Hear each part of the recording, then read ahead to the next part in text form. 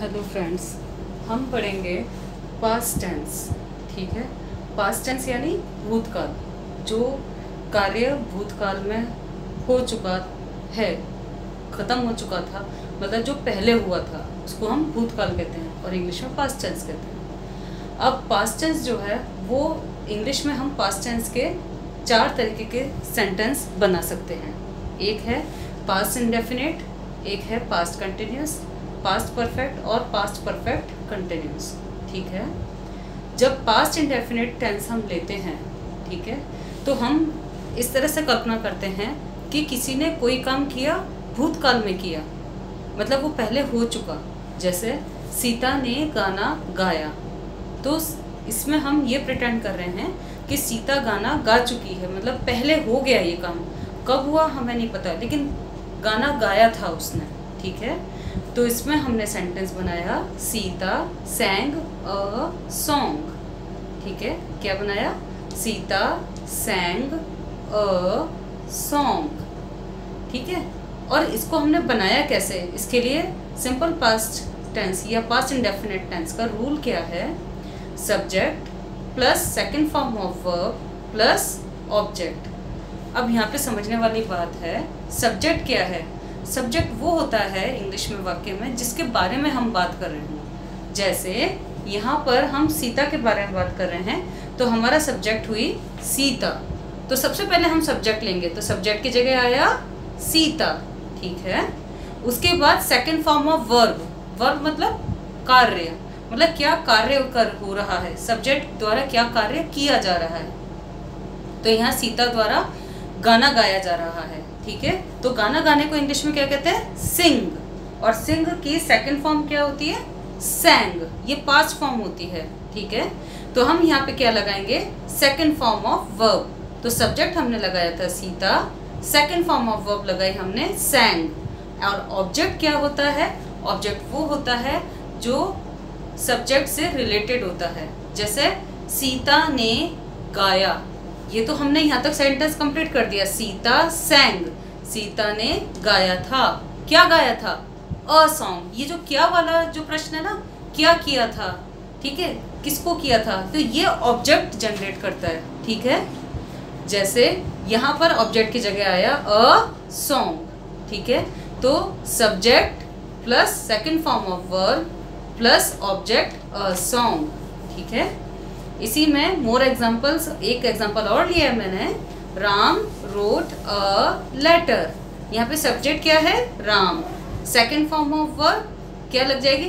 राम ने लेटर लिखा तो पहले लिखा था तो हम इसको पास्ट टेंस में ले जाएँगे और पास्ट इंडेफिनेट में ले जाएँगे। लिखने की इंग्लिश होती है राइट और राइट के सेकंड फॉर्म है रोट तो Ram wrote a letter Ram यानी सब्जेक्ट रोट यानी second form of verb write का पास्ट फॉर्म क्या है? रोट ऑब्जेक्ट यानी अ लेटर ठीक है? ये है पास्ट इनडेफिनिट अब हम आते हैं पास्ट कंटिन्यूस पे.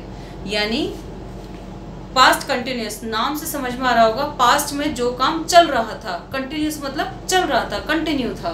ठीक है? तो इसका उदाहरण हो जाएगा, सीता गाना गा रही थी. तो इसका सेंटेंस बनेगा, Sita was singing a song okay इसमें रूल कैसे लगेगा? सब्जेक्ट सब्जेक्ट यानी सीता. प्लस या तो वॉज़ लगेगा या वर्ड लगेगा. ये हेल्पिंग वर्ब होती हैं. सिंगुलर के साथ सिंगुलर सब्जेक्ट के साथ वॉज़ लगेगा प्लूरल सब्जेक्ट के साथ वर्ड लगेगा. ठीक है?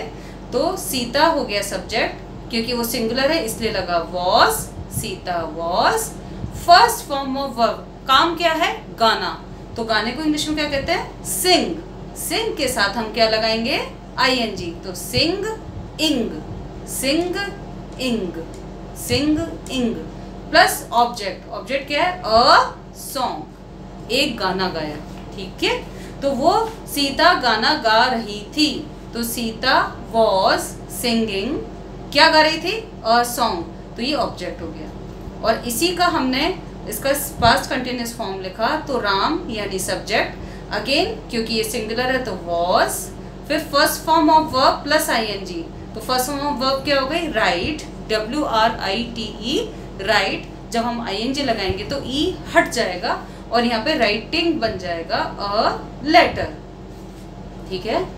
अब आता है पास्ट परफेक्ट पास्ट परफेक्ट मतलब जिस ऐसा कार्य जो पहले हो चुका है, हो चुका था, भविष्य भूतकाल में खत्म हो चुका था, ठीक है? तो यानी सीता गाना गा चुकी थी। तो सीता हैड अब आपको समझ में आ रहा होगा कि हैड किसको डिनोट कर रहा है? पास्ट परफेक्ट टेंस को, हो चुका था। और ये संग संग क्या है? सिंग की थर्ड फॉर्म जो सेकंड फॉर्म होती है, वो होती है सैंग जो हमने यहाँ सिंपल पास्ट या पास्ट इंडेफिनेट में लगाई थी। ये है संग, ये थर्ड फॉर्म है। Sing, sang, sung. तो सीता हैड संग, अ सॉन्ग सीता, गाना, गा चुकी थी। इसका रूल क्या है? सब्जेक्ट सब्जेक्ट की जगह आया सीता। हेड तो लगेगा ही, क्योंकि पास परफेक्ट है, जो कार्य भूतकाल में खत्म हो चुका था। Plus third form of verb तो इसलिए हमें फॉर्म्स याद होनी बहुत ज़रूरी है। तो ये हो जाएगी थर्ड फॉर्म संग, फिर है अ सॉन्ग ये हो गया ऑब्जेक्ट तो अ सॉन्ग हो गया ऑब्जेक्ट ठीक है? इसी को हमने, ये जो नीचे वाला वाक्य था, उसको भी हम चेंज कर रहे हैं। राम लेटर लिख चुका था। तो राम, यानी सब्जेक्ट चुका था। सेंटेंस का वाक्य पहचानिए। चुका था, चुके थे, चुकी थी। वाक्य के अंत में यही लगेगा, है ना? तो राम हैड हैड की जगह had written third form of the verb write wrote written wrote second form of verb written third form of verb a letter Ram एक लेटर लिख चुका था। अब है पास्ट परफेक्ट कंटिन्यूस कि भूतकाल में हम किसी के लिए बता रहे हैं कि वो इतने टाइम से ये कार्य कर रही थी। मतलब वो कंटिन्यूशन में चल रहा था कार्य। कि कुछ टाइम से चल रहा था। तो उसके लिए मैं पास्ट परफेक्ट कंटिन्यूस यूज़ करती हूँ, क्योंकि खत्म नहीं हुआ था, चल रहा था। वो तब भी ये काम कर रही थी। तो कुछ कुछ परफेक्ट टेंस का सिग्निफिकेंस है कुछ कुछ कंटिन्यूस का सिग्निफिकेंस है। तो देखिए, सीता नौ बजे से गाना गा रही थी। देखिए, वापस से यहाँ रही थी रही थी कि मतलब एक जैसी चीज़ ज़रूर है, लेकिन यहाँ पे टाइम भी बताया है कि इतने बजे से गा रही थी, ठीक है? तो हमें थोड़ा सा समय का अंदाज़ा है। इसकी वजह से हम इसे परफेक्ट टेंस हमने इसको पास परफेक्ट कंटिन्यूस इसकी कैटेगरी ही अलग कर दी, ठीक है?